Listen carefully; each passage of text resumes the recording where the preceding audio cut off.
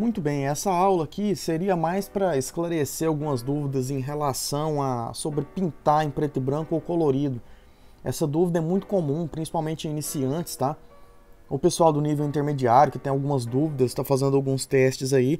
E a coisa mais comum assim de se ver é esse tipo de coisa aqui, tá?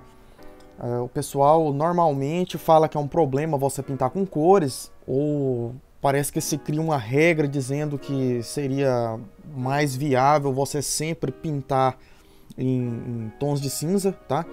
Igual esse tipo de comentário aqui eu já vi também, inclusive eu printei isso aqui, ó.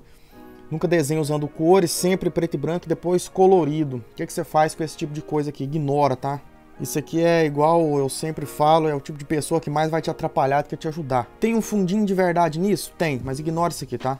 Sobre valores, tá? Isso, isso tem relação com os valores da imagem. O que, que isso quer dizer a respeito de você pintar em preto e branco? Isso sim, de fato, é uma regra que acontece o seguinte: para você trabalhar com uma imagem colorida, primeiro ela tem que funcionar muito bem em tons de cinza. E para uma imagem, você criar uma imagem do zero, você fazer um desenho do zero em tons de cinza para que ele fique com bons valores, o mínimo aceitável, certo? É você ter um domínio muito bom sobre os pretos e os brancos, os contrastes, os, o que vai destacar e o que vai ficar mais em segundo plano. E é exatamente isso que se chama valores, tá? São os valores da sua imagem, os brilhos, tá? O branco, o preto, o contraste entre eles, a quantidade de informação que vai ter um destaque. Por exemplo, vamos pegar essa ilustração aqui.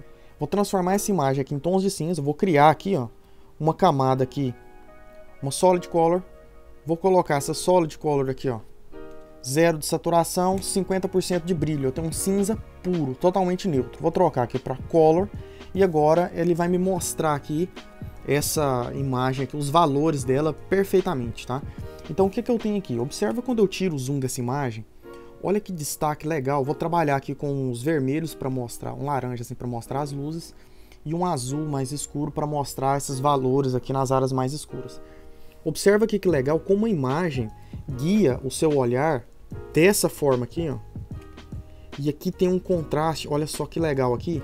E toda essa área aqui, ó, é uma área de fechamento. A imagem fecha e ela dá essa sensação mais ou menos circular aqui, ó, para essa criatura ali no centro. Então, na hora da composição, o artista ele pensou com muito cuidado como ele iria dispor essa luz. Então, ao mesmo tempo que eu tenho uma luz superior vindo aqui, ó, que ilumina aqui essa parte do chão, minha luz principal vem ali de trás. E como é uma floresta obscura, isso aqui é genial você criar esse tipo de contraste, porque o meu fundo é todo escuro. A criatura também é escura. Então, como eu trabalharia de uma forma melhor para criar uma separação de valores aqui? Contrasta essa criatura com fundo, uma luz vindo de trás, tá? Então isso aqui ó, é usado de uma forma muito sábia. Então tem uma luz vindo de trás dessa árvore, desse fundo, gerando esse contraste aqui ó, e essa separação dessa criatura com esse fundo de cá. Tá, mas isso é só para ilustração? Não, claro que não. Por exemplo, essa aqui é uma foto de minha autoria, tá? Aqui não tem fotomanipulação, não tem nada, aqui é só uma fotografia bruta mesmo. Então o que, que acontece na hora que eu tirei essa foto? Eu tomei um cuidado em relação à, posição da iluminação, bem aí em cima deles o teto havia cedido, então eu tenho um espaço vazio ali onde está entrando uma iluminação maior. Na hora de tirar essa foto, bem aqui, ó, nessa região aqui, aqui de trás, fora da foto, eu posicionei um flash, tá? Um flash, só que eu deixei ele bem mais fraquinho, só para dar um, um, brilho adicional aqui, porque a luz aqui estava um dia chuvoso, nublado, e esse corredor é um tanto escuro. Então posicionei um flash aqui para criar essa luz aqui de balanço maior, tá? Então eu tenho essa luz aqui, essa luz vindo de cima e um tanto bom de luz vindo até aqui do chão, ó, que está refletindo, tá? Então na hora de trabalhar essa foto eu pensei nesses pontos de luz e na hora da edição, eu sempre penso, eu sempre trabalho, você pode até ver inclusive em algumas speed arts, eu posso até deixar aqui de exemplo, vou deixar duas aqui do lado para você ver. Sempre em determinado ponto do meu tratamento, eu venho nas minhas imagens e faço esse ajuste aqui de tons de cinza. O que seria isso? Exatamente isso aqui que eu fiz nessa imagem. Eu crio uma layer de color, por exemplo, ou eu tiro a saturação da minha imagem, tá? Vou lá e trabalho ela em tons de cinza por cima para fazer esses ajustes. Olha só essa imagem aqui, ó, quando eu transformo ela em tons de cinza. Vou até recriar aqui, ó, olha só, Solid Color, colocar aqui 50%, zero de saturação. Tem um cinza puro, 80, 80, 80 aqui no hexadecimal. Vou transformar isso aqui em Color e olha lá. Sobre os valores, observa isso aqui. Quando eu observo aqui de longe, eu olho minha imagem de longe, o contraste aqui ó, do chão com a parede e essas linhas aqui ó, que guiam o olhar do espectador aqui para os modelos, para o sobretudo da modelo, para as luvas, para o brilho aqui do rifle, tá vendo? Então tudo que indica o olhar aqui do, do espectador, ó, tá vendo? Leva para o centro, tá? Nesse caso aqui, nessa imagem, aqui eu queria dar essa ilusão, e aqui eu tenho áreas de sombras bem graduadas, mas com boas separações, não está tudo misturado, tá? Então você vê que tem diferenças entre os tons da grade, as manchas na parede, aqui, os buracos aqui na janela aqui, tá? Você tem diferenças, dá para você ver, por exemplo, aqui na bota dela, tá? Então, o que, é que acontece quando alguns valores se perdem? Observe isso aqui, olha que interessante. Isso aqui muitas vezes você não tem controle, mas dentro da edição você pode corrigir isso. Por exemplo, observe esse vermelho aqui e esse tom aqui do verde militar, tá vendo? Esse vermelho aqui e esse verde militar, nessa imagem colorida, você vê uma diferenciação muito boa. Porém, quando ela está em tons de cinza, acabou, emendou, tá vendo? Exatamente da mesma cor. Então eu tenho eles exatamente aqui da mesma cor. Então na hora da edição da foto é muito simples. Você pode criar, por exemplo, uma layer de curvas, caso você deseje realçar mais ou, ou, ou não nessa, nessa questão dos valores. Você clica aqui na setinha, clica nessa setinha, e você pode vir aqui e puxar um pouco para cima e puxa um pouco para baixo. Você já vai começar a fazer alguma diferença de tom entre elas. Então são diferenças sutis, você pode utilizar, por exemplo, você faz uma seleção na área, ou pega, por exemplo, a Dodge Tool, vai lá na sua imagem, vou criar uma cópia dela, e que só clareia, por exemplo, nessas partes específicas onde você quer iluminar mais o vermelho. Ou você pode criar, por exemplo, uma camada aqui de, de Selective Color, vem nos seus tons de vermelho, que no caso são esses aqui, certo? Vem nos seus tons de vermelho, e aumenta ou diminui a quantidade do brilho. No caso aqui eu vou deixar os meus vermelhos mais claros, só para esse valor ficar um pouco melhor. Ó, vou deixar esse vermelho mais claro, só um pouco. E posso adicionar um pouco de amarelo nesses vermelhos. Mas aí afetou a imagem inteira, certo? Clico na máscara, vou inverter essa máscara, Ctrl I para inverter. Vou pegar aqui a cor branca e vou pintar só ali nesses vermelhos. Ó. E você pode fazer isso, inclusive, com esse, essa camada aqui de cor ativa, tá? Para ficar em tons de cinza. Aí você vai ver que quando eu desativar ou ativar isso aqui, ó, olha só, começa a dar uma diferença. Olha lá, a diferença dos valores, tá vendo? Então, se você for trabalhar dessa forma, você pode fazer essas adaptações.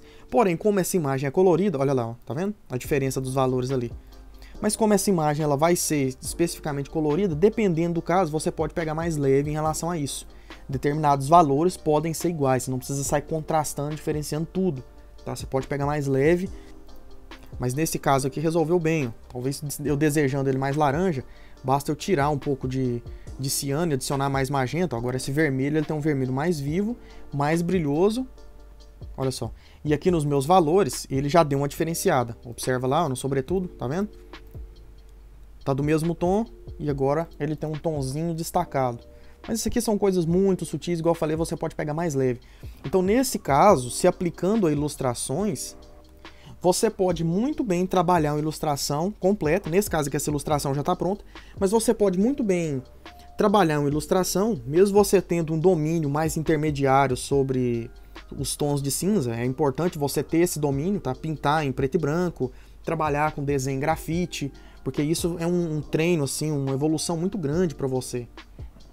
Então você fazendo isso, no final da sua ilustração, ou ali na, na reta final, certo? Antes de você adicionar os demais efeitos, só para garantir, é aquilo que eu sempre falo, reforçando, toda foto colorida, primeiro ela tem que funcionar bem em preto e branco. E por que que essa foto colorida, foto, desenho, tá? Qualquer coisa visual, por que, que ela tem que funcionar bem em preto e branco? Porque ela funcionando bem em preto e branco, é garantido que os valores dessa imagem estão muito bem definidos.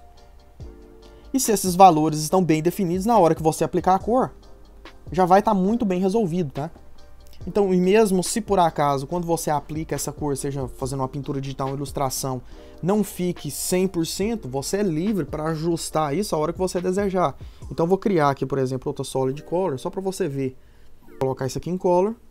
Olha só, os valores estão muito bem definidos, mas caso eu desejasse realçar eles mais, eu posso simplesmente criar aqui uma layer de Selective Color e eu posso criar uma layer de curvas. Criando essa layer de curvas, a primeira coisa, pega na mãozinha, vamos supor que eu quero esses tons aqui mais vivos. E eu quero esses tons aqui mais escuros. Agora esse aqui mais escuro um tanto, ó.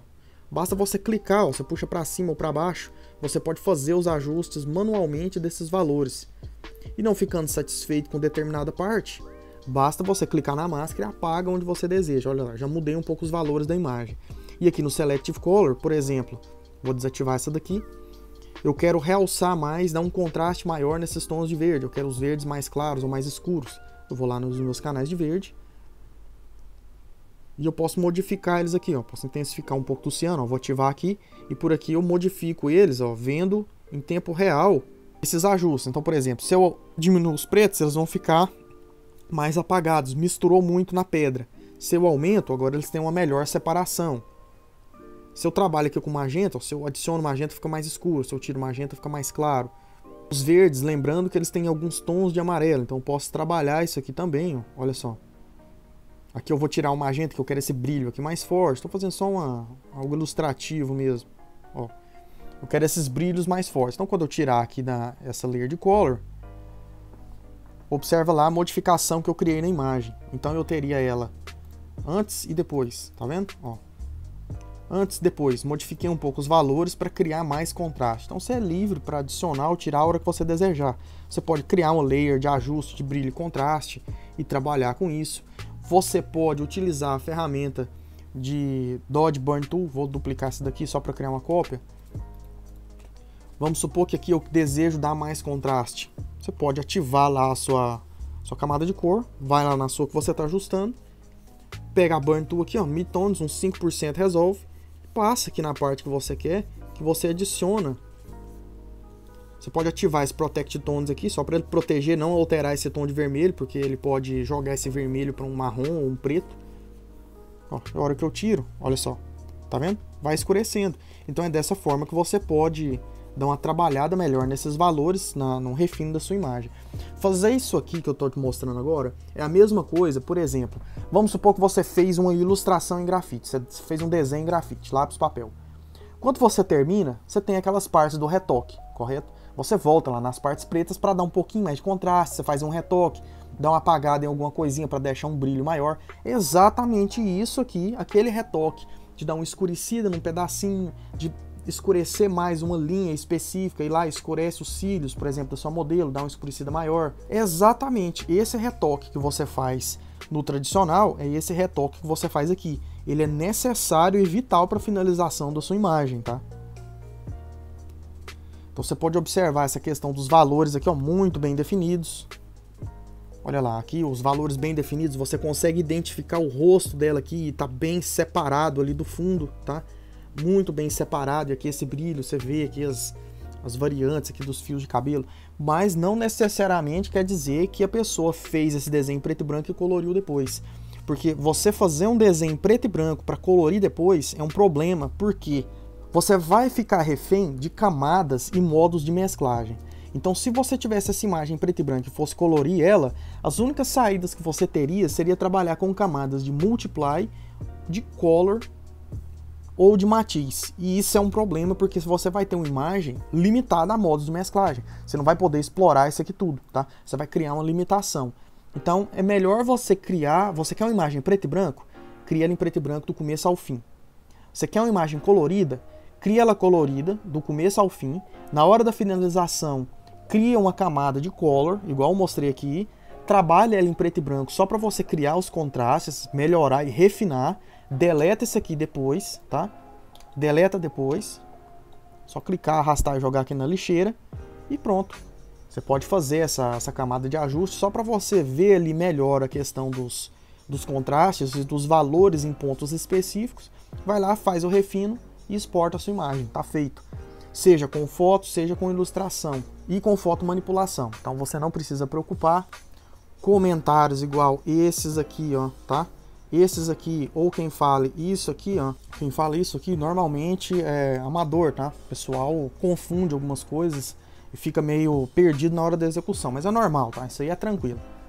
Isso aí, paciência com a, com a prática aí, com muito trabalho e estudo, você vai vendo e sabendo diferenciar melhor.